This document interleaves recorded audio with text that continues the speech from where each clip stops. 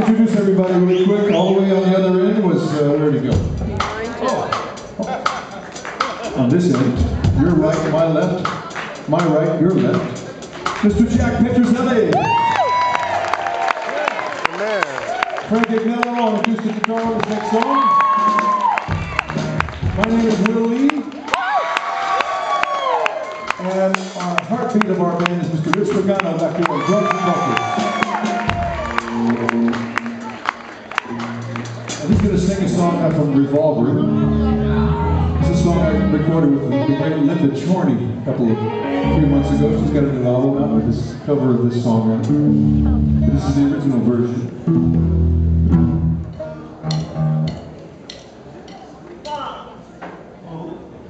One.